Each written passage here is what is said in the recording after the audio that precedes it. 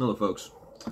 So, I'd like to talk about the podcast with Naomi Wolf and Jordan Peterson. Naomi Wolf went on Jordan Peterson's podcast. And, well, she's politically different and she has very different opinions from Jordan. Not the basic ones, like he, he does believe that women should be treated fairly, given equal opportunities. So, there wasn't a lot of squabbling between them. I wish that he sort of argued with her a little bit because she said something that I, I feel is not fair. It's outright sexist, actually. And, you know, might as well make a video about it. Naomi said that the value of men has gone down because a single mother would have gone from completely screwed to being able to provide for her, her child with great difficulty.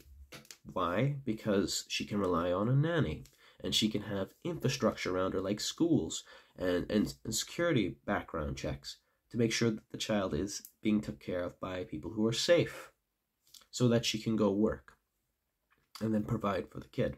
So it can be done with difficulty. Uh, rather than being pretty much impossible like it had been in, in the, all of human history, which is not not a very safe place, the world. So without someone watching your back.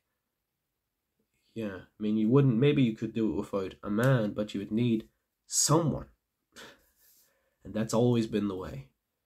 Um, she says that the value of men have decreased because that uh, these women find men not necessary anymore. Definitely useful, but not necessary. And to that, I'd say that the nanny who's taking care of the child might not be male, but her handler and her employer might be. Very likely could be. There's probably a man, if you keep going climbing the ladder, there's a man on the top of it running something that's key to it. Another thing is the people doing the background checks is a team of people. Very often they could be male, and there could be a number of men involved in making sure that your child is actually being took care of by someone who is safe. Schools are ran mostly by women, but the boards can be mostly men. And as they get older, they tend to be more men involved in their education. And if they're male, they probably should have more men in their lives because it would mean that they could develop properly and with a little bit more manners and respect. It's been shown that apparently, now I need to actually find the damn study, but apparently young men who are fatherless are more prone to go to prison. They're more prone for getting arrested for violent crimes. And uh, I would say that in the Western world, in this very particular way, it would seem like the value of men has decreased. But in reality, it, it hasn't. What, what do I mean? Well, I can make a YouTube video talking about my opinions and share it to the entire world. I could learn how to invest and become quite wealthy. I could make my own business. My opinions has my opinions, my feelings and my activities matter.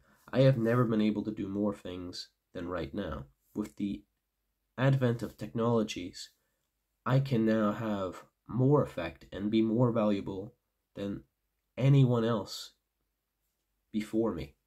My grandfather could only ever be as valuable as he could get qualified and work. But nowadays, if I got good enough in investing, I wouldn't even necessarily need to have qualifications. What I'm trying to say is now, anyone could become incredibly valuable. Doesn't matter who they are. Men and women's values actually increased, I think, because of the Western world, not decreased at all in the slightest what you could say, and I think that is, this is true, is that the single mother has exponentially increased in value. She went from a woman in a tough spot, then, you know, may have to go for some second rate guy just so she can provide for her family, to someone who doesn't need necessarily a romantic partner at all, and someone who can work whilst taking care of her children, making sure her child's safe. Her value is increased you know, tenfold, which is excellent, brilliant, but that doesn't mean at all that the value of men has decreased, in the slightest. What an utterly sexist and stupid remark. So that's really, that's what got my goat. I think I managed to make the video less than five minutes, so thanks for watching.